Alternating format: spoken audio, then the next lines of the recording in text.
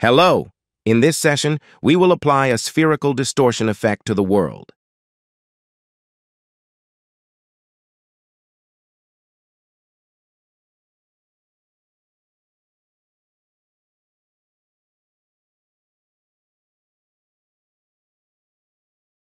First, open a new Unreal project and create a folder named Material in the Content browser.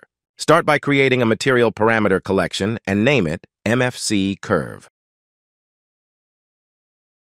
Next, create a material function and name it MF Curve. Open MFC Curve and add parameters, which are one vector parameter and three scalar parameters.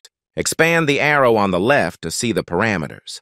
We will rename the parameters first scalar parameter to flat distance, the second scalar parameter to base distance, the third scalar parameter to power, and the vector parameter to direction,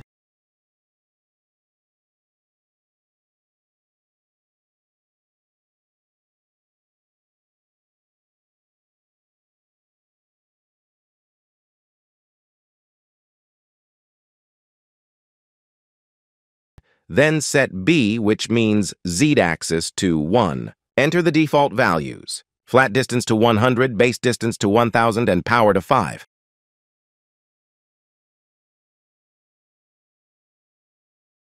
Open MF curve and create world position and camera position. Use these to calculate the distance between the object and the camera so that the effect can be applied based on the distance. Use subtract to adjust the distance between the object and the camera. Create a collection parameter, select MFC curve as the collection, and choose flat distance as the parameter name. Use divide to control the effect's intensity based on the distance.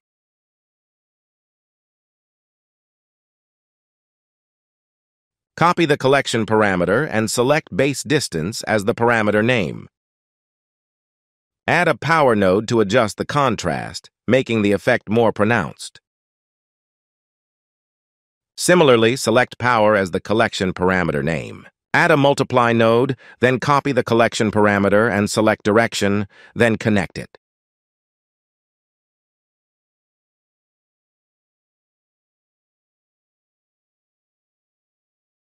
In the level window, click the Lit button and select Wireframe. To apply this material, there needs to be a lot of mesh so that the distortion is applied to the mesh. Go back to default lit.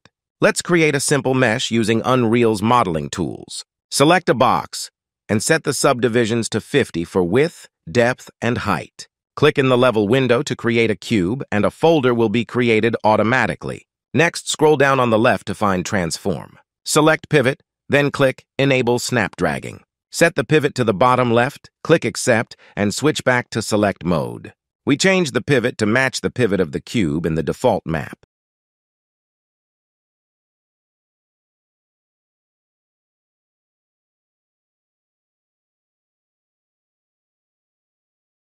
Delete the cube you just created, select the mesh in the outliner under Playground, and change the static mesh to the one you created.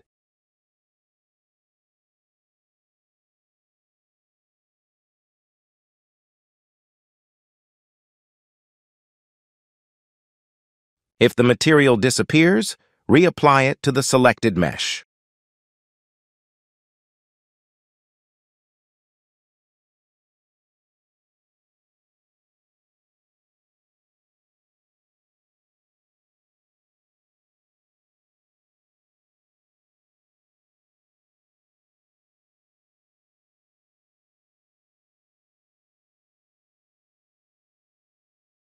Now apply MF curve to the materials used in the default map mesh. The materials to apply are M prototype, grid, and M solid.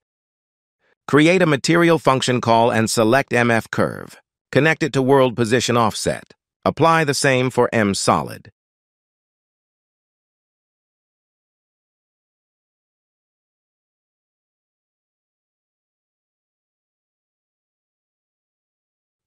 Save and return to the level, where you will see the mesh deform into a spherical shape. Play and move the character to see the effect. As you move, previously invisible meshes will come into view. You can increase the effect by adjusting the power value in MFC curve. The reason for using a material parameter collection is so that when you change a parameter, it applies uniformly wherever it's used.